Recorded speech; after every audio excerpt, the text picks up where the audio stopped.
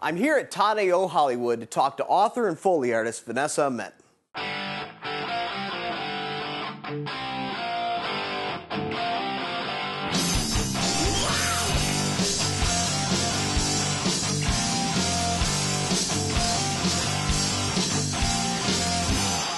So I'm here with Vanessa. How have you been? I'm just peachy.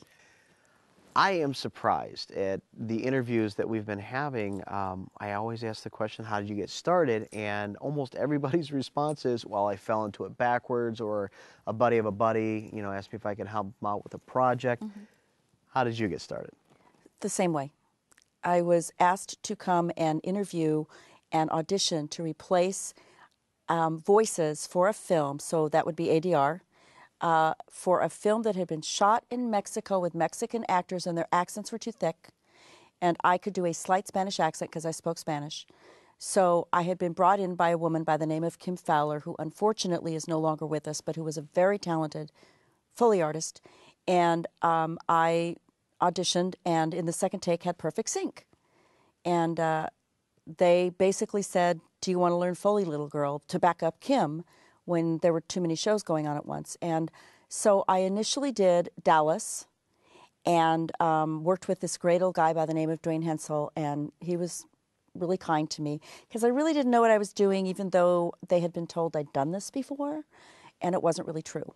Um, but I didn't want to blow that, you know, because it's hard for me to fake that and say, "Oh no, I've never done this before." I, you know, so the very first thing I had to do was drop a remote control. It was supposed to blow up something for this Dallas. It was sh- a couple of episodes after Who Shot JR. And I did it. And I think I didn't do it horribly, but I felt pretty much like a fraud because I don't like faking anything. Uh, I uh, got through the day. I remember going home absolutely exhausted and thinking, they will never want to work with me again. But they did. They called me back. And I, I I think it was a time when sound was expanding and Foley was expanding and they needed people and they liked me. And there was one guy in particular who's now really important at um, Sony, Jimmy Honore. Jimmy pretty much kind of pushed forward and helped me get um, a lot of the Lorimar TV shows. So I did fall into it because I basically was an actor and a singer, and I thought this was going to be something I did in between acting and singing jobs. I never was interested in film. And it keeps at, like like they say in Godfather Three. Um, you know, I keep trying to get out and they pull me back in.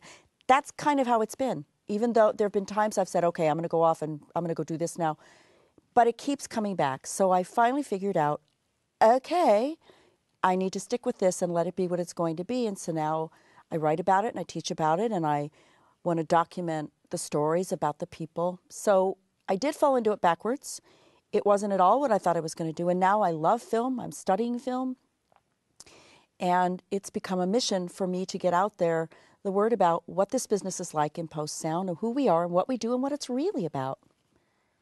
You've literally walked uh, in the footsteps of a lot of actors and, you know, performing Foley.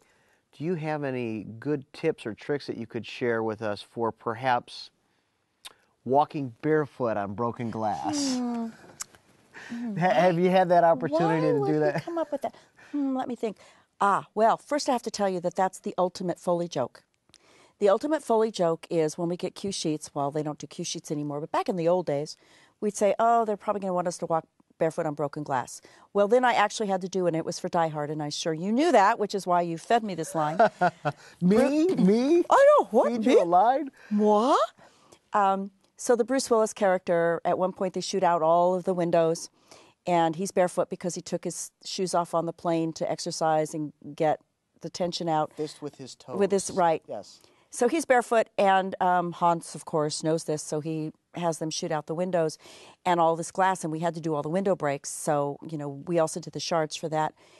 So the way that I did it was I walked barefoot for him all the way through, and then on a separate track in a pit, we had little tiny pieces of glass, and I worked them with some really um, thin gloves on my hands, not to cut my hands, and just sweetened with some occasional impacts on the glass so that I could control how much of the glass would come through because obviously you don't really make that much noise walking in it, just to get a sense of it. But the way I walked him too would have been more carefully because you know it was very uncomfortable. And I think at one point he's pulling glass out of his foot. So, um, so I got to walk the ultimate Foley joke, and so now it's not such a joke anymore. So if they say now, I bet you they're going to ask us to walk on broken glass with our bare feet. They're going to say, well, ask Vanessa. Is there any common mistakes that you see beginning Foley artists make? yes. And first, let me start with footsteps. They will flat foot because they don't understand the way the footfall works. Then they'll over articulate the footfall, and it's in between. And then the next mistake that will happen in the learning curve, it's not really a mistake, it's just the normal learning curve that everyone will go through, is that they will um, have every footstep sound exactly the same. But no surface is exactly the same when you walk forward. There's a little unevenness, or one part of the surface is a little more worn, or one foot walks a little differently, or a particular pair of shoes you walk a little differently in. So the trick is to not sound mechanical, to sound as natural as possible, and pay attention, you start to get a feel. But I think when people start out, they overthink it, and that's pretty natural for all of us because you're walking standing in one place, unless you're doing some sort of avant garde, innovative way of trying to do Foley by actually walking on a surface in motion with sound following you. But that isn't happening all that much because it's hard to control the sound. It's hard to get the venue to do that. And most Foley artists just stay in one place when they're walking, but we've learned a lot of techniques to make it sound like we're going forward or we're going backward or we're going upstairs or downstairs or walking on gravel or all the things you do. You start training your ear. And, and the interesting thing is that when you first start out walking, you are overthinking it. But after a while, you're not even thinking about that part. You're actually just moving with the person and actually feeling like that person. It's really, that's when it becomes fun. I used to call it Zen Foley, which sounds a little trivial, but really you start to embody who the person is. And then it becomes really interesting because you can think about subtleties and you're not doing the mechanics. It takes time. And I think um, all beginners want to get there fast, especially the millennial generation who's used to having that immediate gratification of technology working really quickly for you. And the biggest thing that I can say is slow down and let yourself have time for the learning curve because it's necessary. So you've worked on some big films, a lot of mm-hmm. films that I grew up uh, watching. Um, what was? Oh, thank you. So now we know that I'm ancient. I, well, they know that you're slightly older than me. I'm ancient. what? Uh, what? What's one of your favorite projects that you got a chance to work on? You know, the one that comes to mind over and over again. Well, there are two that come to mind for different reasons. A Goofy movie. I loved working on. Um, I did not perform the Foley for that. I was editing the Foley for it because I was also working on another project at the time. Joan Rowe did the Foley for it, but I, I cued it and shot it, or she, she shot it and then I cut it. That was a fun project because Kevin Lima, the director, was just a pleasure to work with. I also did um, headed up the group ADR for it with him. He was such a joy to work with, and it was such a delightful film, and it was animation, and these, these animation people are always fun what's harder to work with, uh, footsteps or props? Most people who start with Foley find the props are easier for them to start with because they handle these kinds of things in real life. They handle things and they make these things happen with their hands. And they're not used to trying to walk in sync with someone, specifically staying in one spot and thinking about the way the footfall goes and thinking about the way the scuffs might be or what direction or pivoting. So normally, that is what people enjoy doing first and it's easier for them and then they develop an ability to walk characters. However, it's the opposite for me.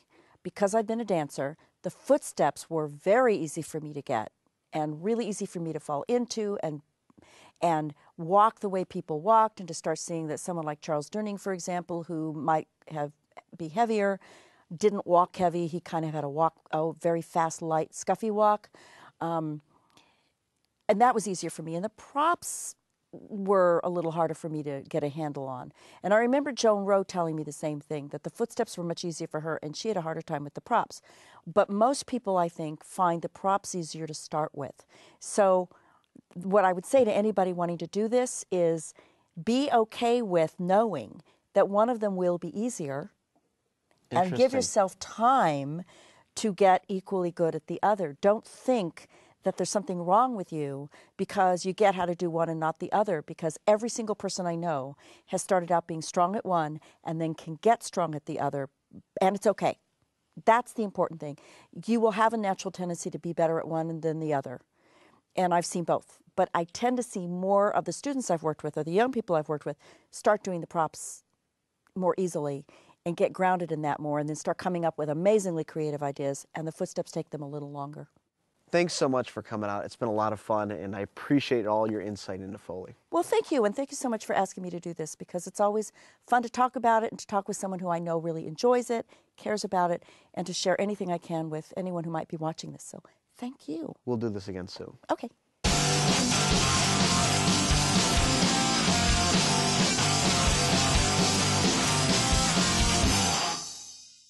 Take one. Go ahead, waste, waste. Hey, it's free.